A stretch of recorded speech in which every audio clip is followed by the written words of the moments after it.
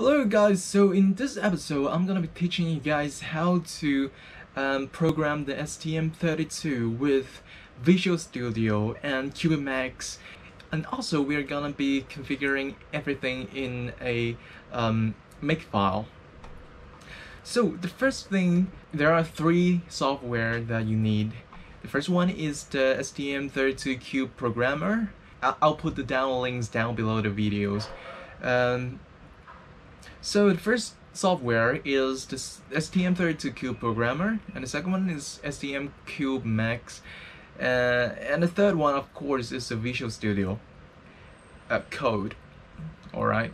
Um, so the first thing we need to do is open up the STM32CubeMX, and so we're gonna open a new project So here, uh, because we're using a STM32F407, uh, so I'm gonna just type in uh, 407 VG.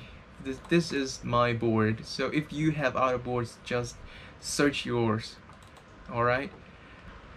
Uh, so here is what we're gonna do.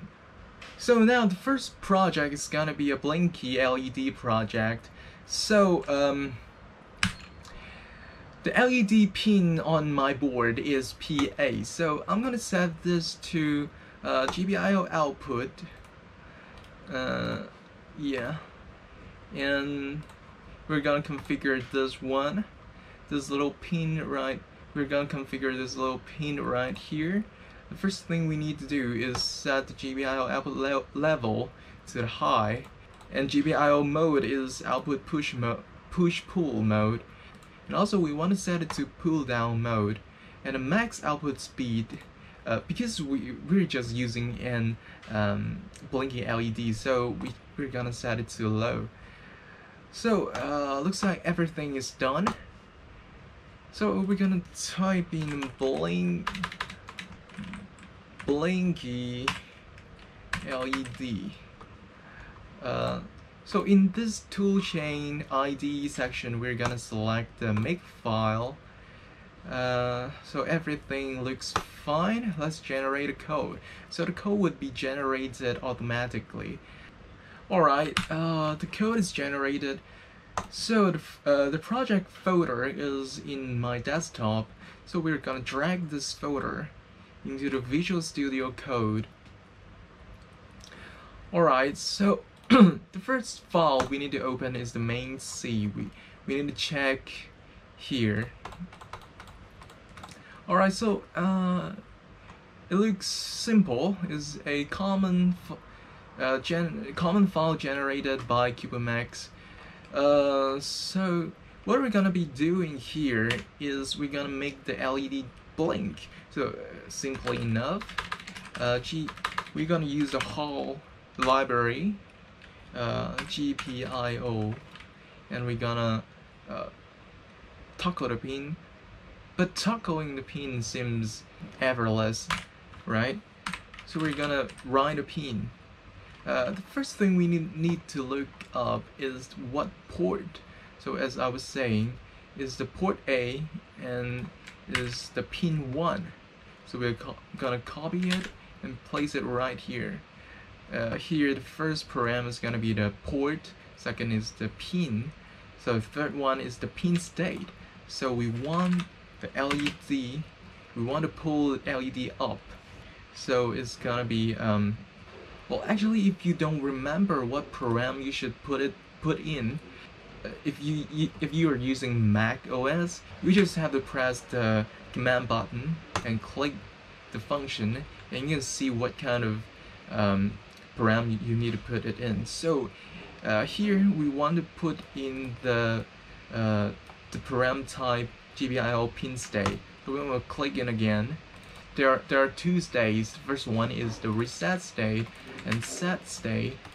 And we want to uh, write it like this and also we want to copy this and and we want to set it to reset so uh, between the set and reset we want to uh, delay the whole program with the HAL delay function.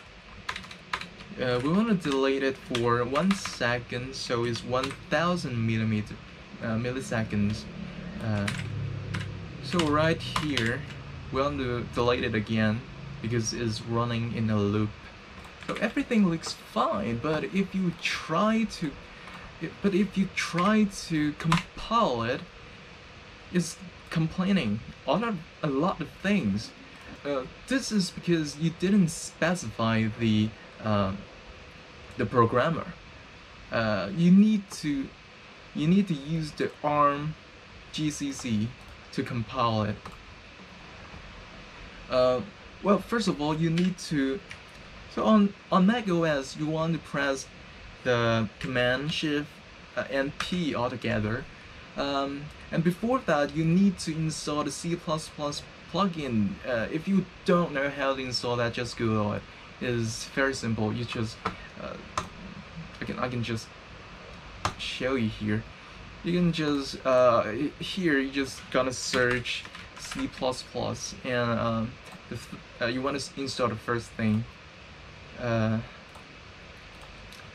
so you, here uh, you want to type in the C++ uh, edit configuration JSON. So here you can specify the um, the compiler path. So what you need to uh, use for compiling the code is the is the GCC uh, is the ARM GCC. So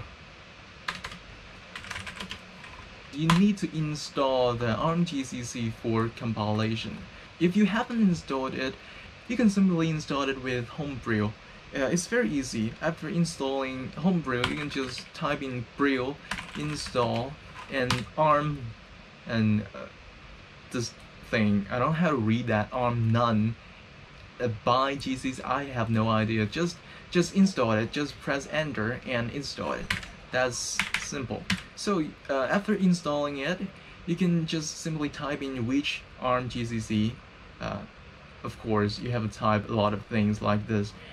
So it, it returns this path to you. So you want to uh, you want to copy this path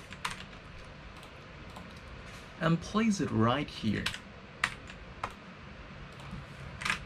And um, however, the compiler would still uh, complain. So, so you want to make some. So what you need to do is to make some modification inside a make file.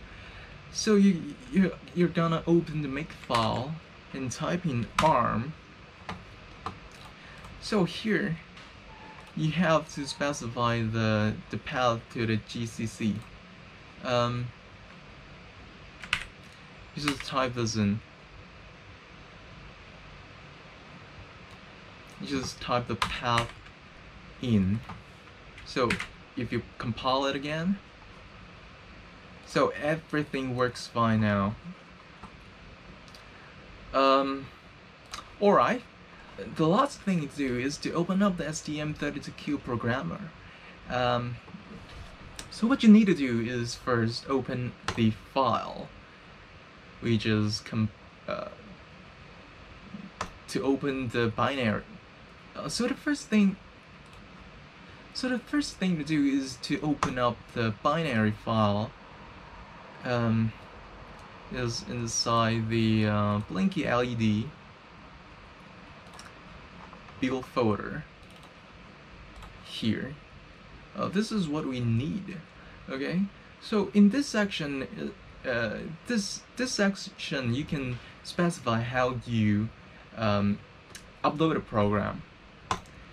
So I'm gonna use the USB for this tutorial because it's very simple and fast. So what you need to do now is, uh, so you need to find a boot pin. You want to connect the boot pin to the 3.3 volt so I have already connected in my circuit board. So what I need to do is to press this and connect the boot pin to the 3.3 volt. So what we need to do next is to uh, press the reset button and release the reset button. So now you can release the boot button. Uh, so if you refresh the port here, you can see there is a USB 1, which is your STM32 uh, board. So you want to connect it, and you want to press the download button right here. It's gonna be uploaded very fast.